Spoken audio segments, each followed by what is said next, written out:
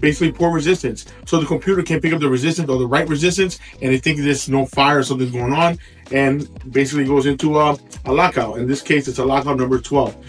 Louis, Louis, Louis,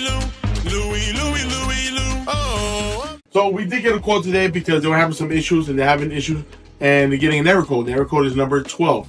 So we looked it up and the error code is basically saying that the igniter in the flame rod sensor is starting to fail you know, they haven't had the first service in a while. They did have the actual heat exchanger flush about a year ago, but this is nothing to do with the actual heat exchanger. It has to do with the flame rod sensor. Basically, what it is is that it's it's a common issue that whenever you have a flame rod sensor through due time with wear and tear, it's going to give you um uh, basically poor resistance. So the computer can't pick up the resistance or the right resistance, and it thinks there's no fire or something's going on, and basically goes into a, a lockout. In this case, it's a lockout number 12. So guys, whenever you have a number 12 error code on a Noritz unit on this particular model, you want to start looking at your igniter and your flame rod sensor.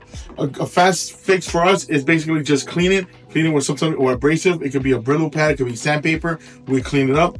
However, if it continues to happen, guess what, guys? You're gonna have to replace it. So let the customer know what's going on. Explain to them.